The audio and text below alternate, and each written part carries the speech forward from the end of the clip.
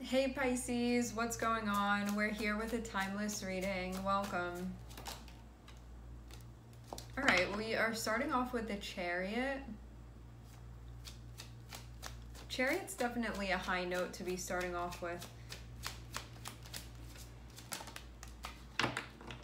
Looks like moves are being made. And quickly.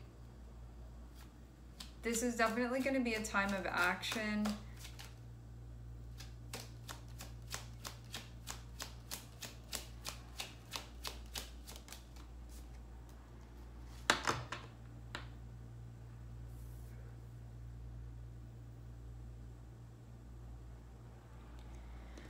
Having Chariot and having Knight of Wands can mean that there were certain things that needed to be dealt with and as it looks like those things have now been dealt with, it looks like you're going to be able to make some type of move that you've been wanting to make. At the same time, I'm seeing temperance. So even though you may be beyond certain barriers, it feels like it's still very important for you to be mindful of the moves that you're making. So there not may not be anything like directly blocking you and maybe nothing like outwardly blocking you from doing what you want here from moving the way that you want to move. But having temperance can show you still needing to be mindful of the moves that you're making from a place of like mindfulness and self control, is what this feels like. Because maybe stuff was going on before externally where like you didn't have the option, like you weren't able to do something or to make certain moves. Now it feels like whatever those barriers were, they're not a thing anymore. Like you have actively overcome those things they have like fallen down or you moved past it or you worked your way around it or through it whatever. Now at this point this feels like even though you may not have these things that are like nope like x here you can't move through this it feels like still needing to use your discernment with the moves that you're making and that being very important with temperance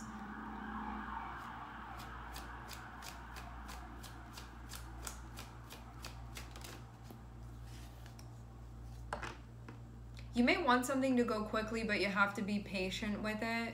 It feels like this is taking time. There can be a part of you that really is like, I'm seeing you in a fast energy right now. So you can be like, why can't like things be catching up with my speed right now? But I'm seeing that you're being urged to be patient with something that's going on right now, some type of process that you're currently involved with. So even though you may not have like barriers or anything holding you back, it feels like time or something like that is maybe making things go slower than you would prefer at this point. But this definitely feels like your guides being like, just be patient right now, wait this out, allow the process to unfold.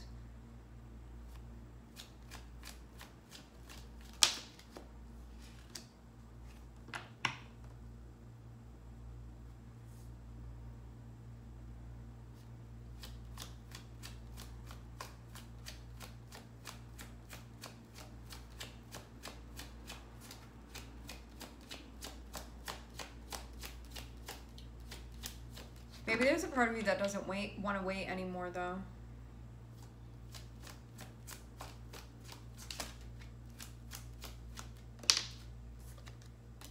Okay.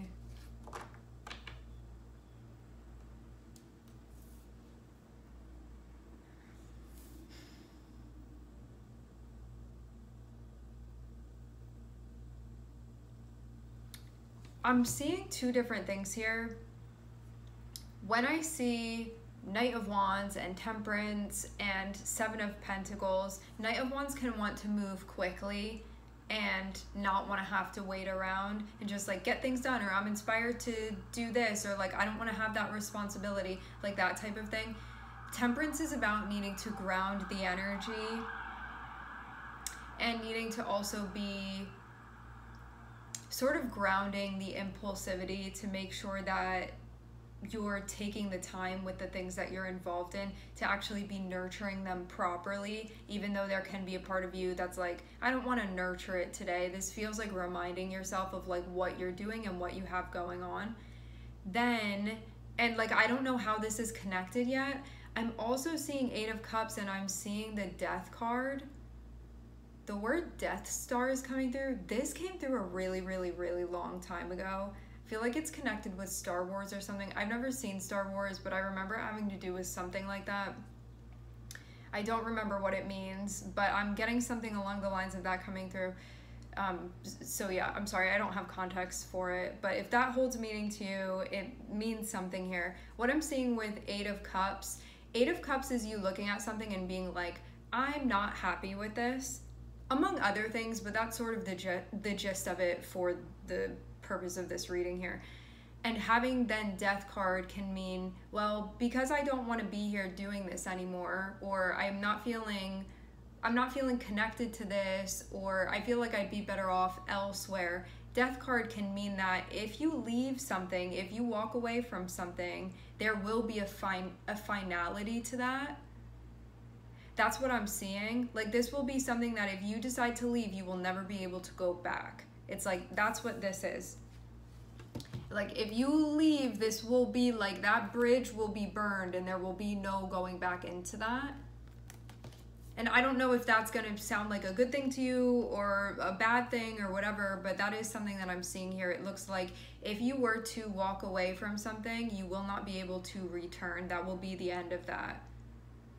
So I don't know if that's something that you're considering. Like there's a part of you that's like, I don't know if I want to wait around and you may be walking away from something or thinking about that. Or you're looking at something and this is like a reminder for you that if you want something to happen here, like if you want this to grow, if you want this manifestation to materialize, you're going to have to be patient with it.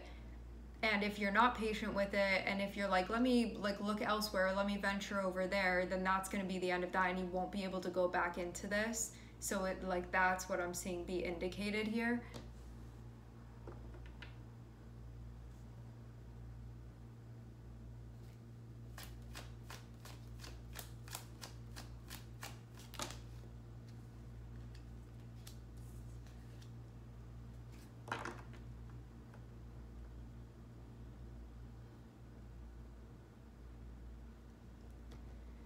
But maybe you want that. Maybe you're tired of waiting for something.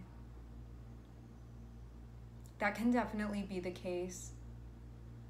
It can be something that the what had internally been motivating you to participate in something, you can feel like it's kind of all dried up for you. Like whatever connection had been there was sort of like withered I do feel like maybe this had to do with the time that something was taking potentially.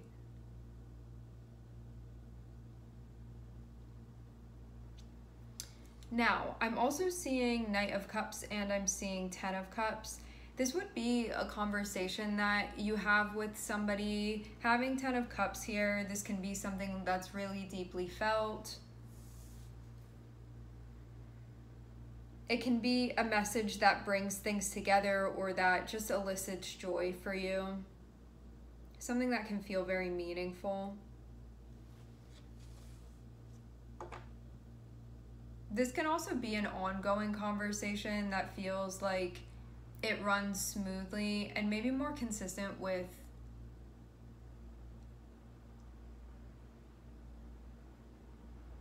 what resembles connection for you and a sense of belonging.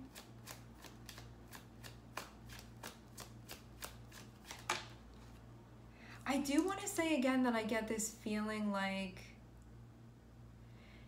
it's always so interpretive the way that cards are interpreted because the way that I read I I do things intuitively when it comes to the spread and how it comes out like no spread that I look looks like another one that I've done for the most part. It's all just where I feel like the cards are meant to go.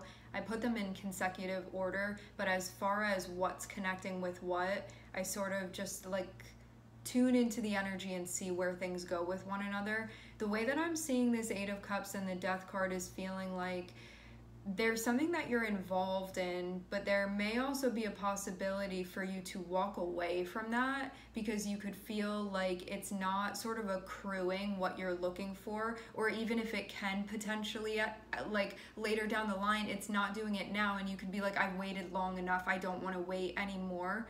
like this is the deadline here. It feels like one of those moments that can be happening. At the same time, this also looks like there is something that's coming through and it feels like the whole reason that you would leave something or walk away from something is because you're looking for a deeper connection. And even if that means i have to surrender something completely and i can't go back into it at the same time it looks like there's some type of connection that you like what you were looking for you would find that in stepping forward. That's what i see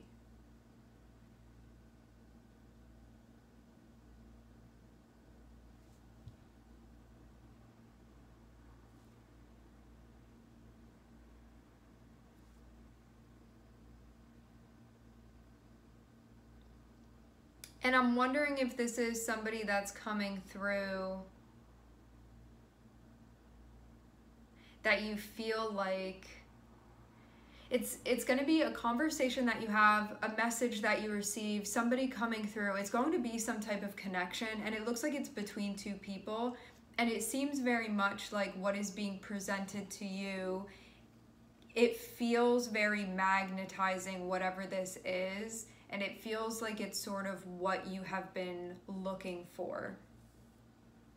Now, I'm also seeing too that we have the lovers here, so this can be relationship choices that are coming up. There can be just themes that are connected with partnerships in general, people in general, what type of relationship you're going to feel happy within, and talking about things that matter to you. Because this feels like with Knight of Cups and Ten of Cups, it feels like a conversation about like what is my ideal? Like what do I want to be experiencing? What will feel like joy? What will feel internally aligned for me? And specifically within the context of a relationship because of having the lovers here you know it can be like my my dream person will be like this or our dynamic or our situation will be like that and it feels like from a very like this isn't the flashy stuff that's being spoken about. This feels like the internal stuff. Like i'm looking for somebody that i can connect with emotionally or i i crave this type of intimacy. It feels like that type of thing that's coming up.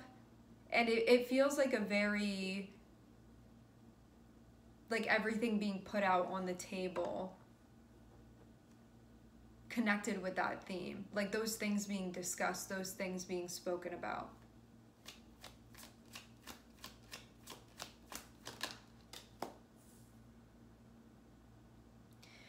having the lovers and having nine of swords can feel like there's a choice that needs to be made, but it can feel like a difficult choice. It can feel like a scary choice. It can feel too like worried about what's going on and what's going to be happening. But this feels like like worrying about what's going to happen with a relationship that you have.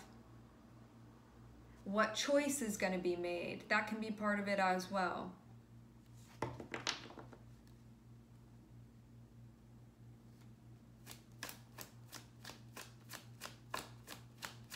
I get this as being like more concerned and worried about like what's to come, what's going to be happening in relation to a relationship that you've already been participating within, like you've already invested in this relationship. I'm seeing that be in the center.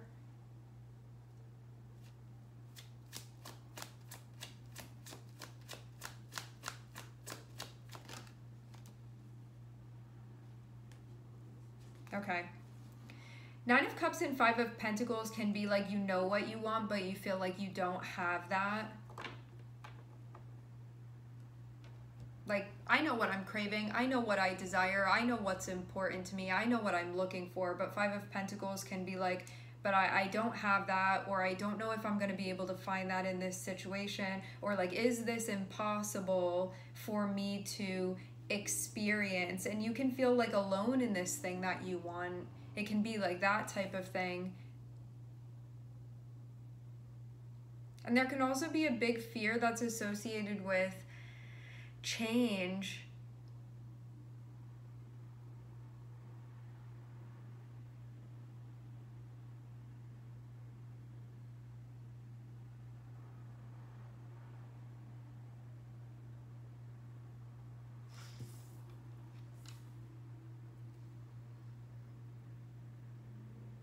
I do feel like you're going to move in a, a direction of something that feels like it's going to be the answer for you.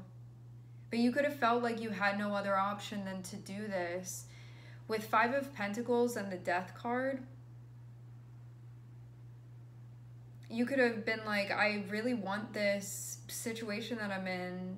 I want this to change. I see Five of Pentacles as being more so like connected with your environment, like more external things, but stuff that you can be feeling like you don't like the way that that is or that's not ideal for you and you don't want to be in that position like that's not something that you want to continuously be experiencing. And so you can look to the death card and be like i just got to surrender because i don't know what else to do here. Like you can feel like it's the only option it's the only hope that you have and that you have to move in the direction of what calls to you of what speaks to you. So I, I wonder if just themes themes surrounding that are what's coming up for you because of feeling like that's the way that you're going to find what you're looking for. Overcoming obstacles connected with your pursuit of happiness. Needing to ground your energy because I'm definitely seeing you be very concerned about what looks like the fate of a relationship and also something coming through about finding what you're looking for and potentially having to surrender something in order for that to materialize.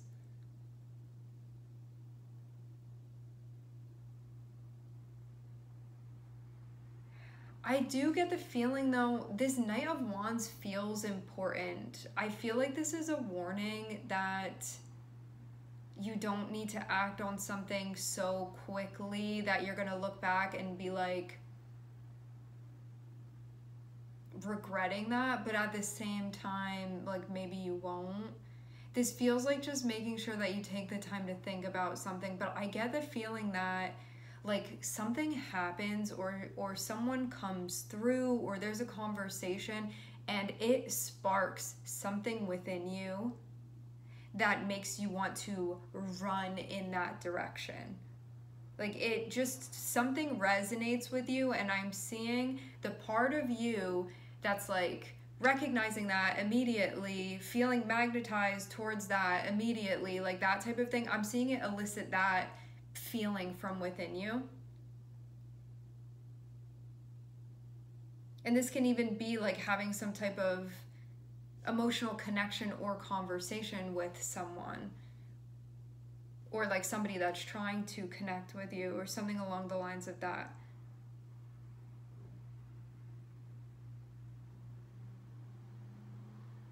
Simultaneously, I'm also seeing what looks like a relationship that you have going on,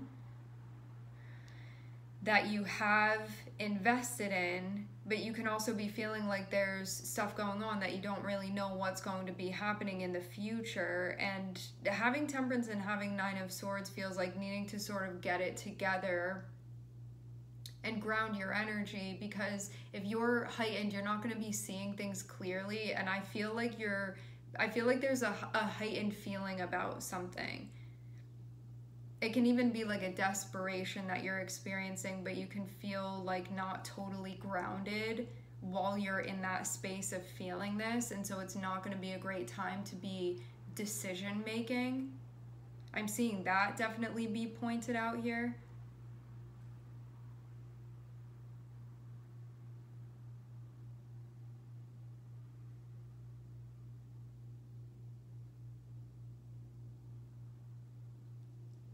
And also too there can be a part of you that's feeling like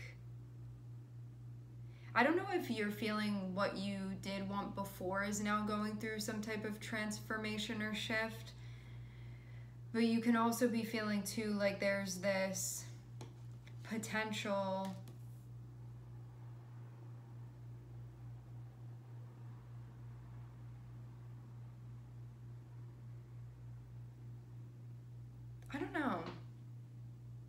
see this happening both ways.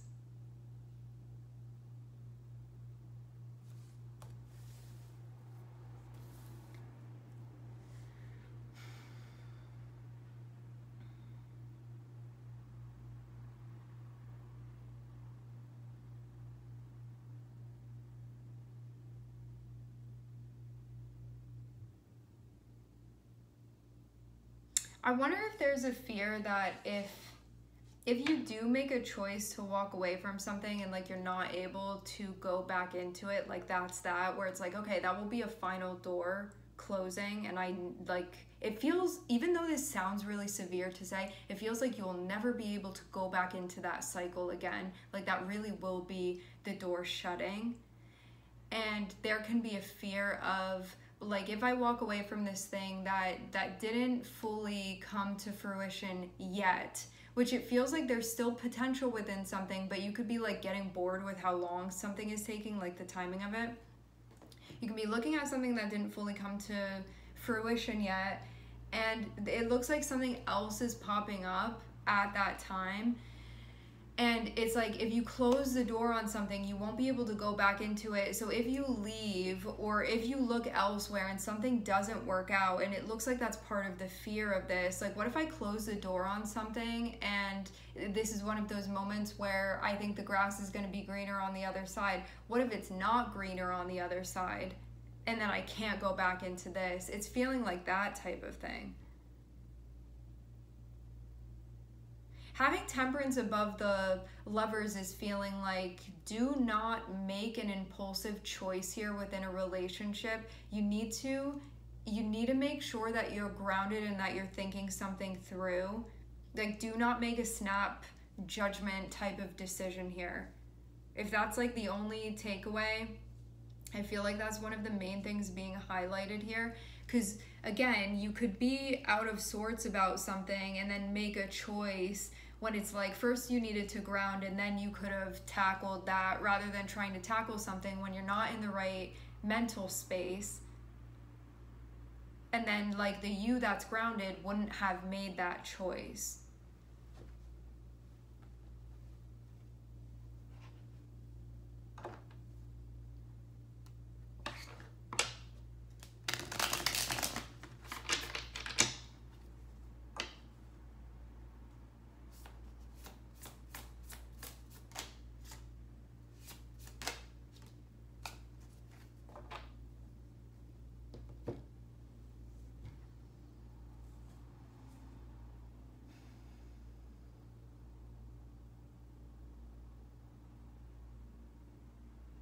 Maybe you need some solo time to think about this. Like, what's the right move for you to be making here? Like, actually.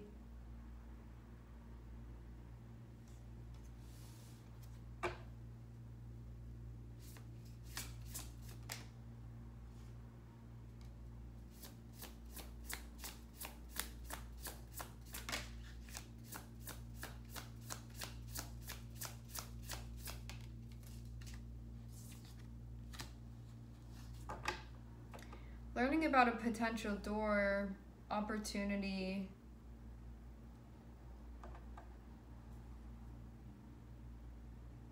Having justice and the hermit is just about spending time reflecting on something long enough that you know that you're sort of like level headed with the way that you're perceiving things and that it's an accurate as actu- as accurate as your per- perception perception can be when it comes to this I'm seeing Cancer, I'm seeing Sagittarius, I'm seeing Scorpio, and I'm seeing Gemini. I also saw Aries on the bottom of the deck at one point, and that stuck out to me too.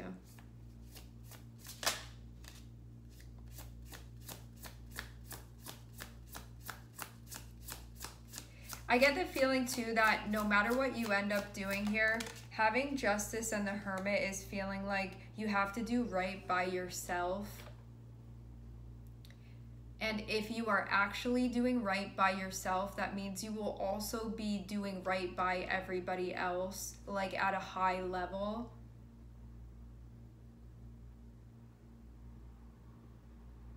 Regardless of relative perspectives of this, it feels like with justice and the hermit it's thinking about what is the the actual right way for me to go through this it may be I'm being challenged to do something difficult here, but this is the right way. It's like feels like it's challenging sort of that that moral and emotional compass of yours to make sure that you move through this in the right way and do the right thing with this opportunity that it seems like you're learning more about.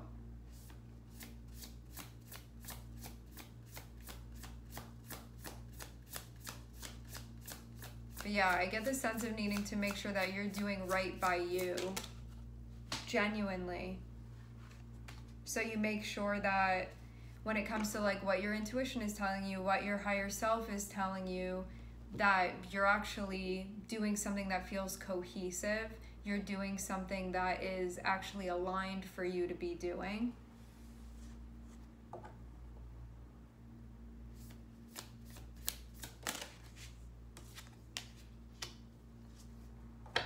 Ace of Wands and Ten of Cups is about moving in the direction of something that feels aligned, something that feels happy to you, something that brings about a sense of internal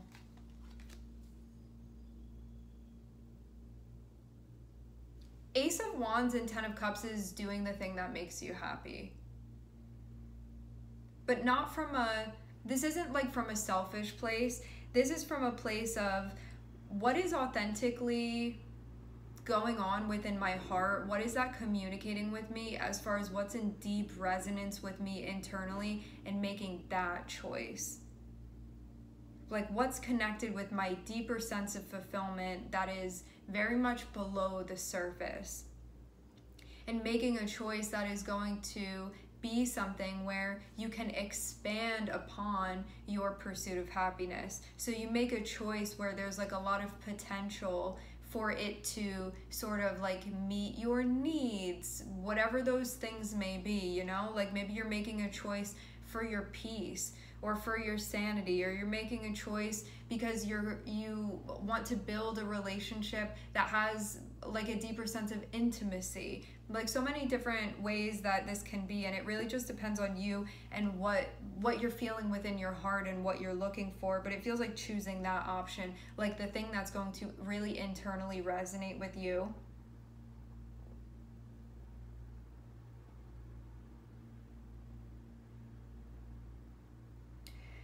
Justice and six of wands is about there being a victory when you do the right thing. And it also shows to like you will you will come out, come out of something successfully or you will move through something successfully as long as you're doing the right thing when you're moving through it. And making sure that you are doing it in a balanced way where it's like I'm not just picking this from an intellectual standpoint where my emotions are not involved, or I'm not only making an emotional choice here. This is going to be an integration of your head and your heart, and then being on the same page, getting your energy to the point where they are actually on the same page, and then moving through a situation aligned with that, with that type of integration. And then you're going to feel like you are connected with yourself as you're moving through this. I get an innate sense of balance that you have within you on how to handle things like this. It just feels like it's a matter of tapping into that.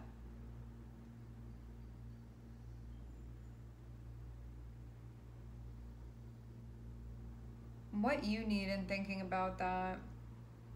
And also, too, learning more so about like what makes you happy or what brings you joy or what is representative or reflective of peace within your life or deeper resonance.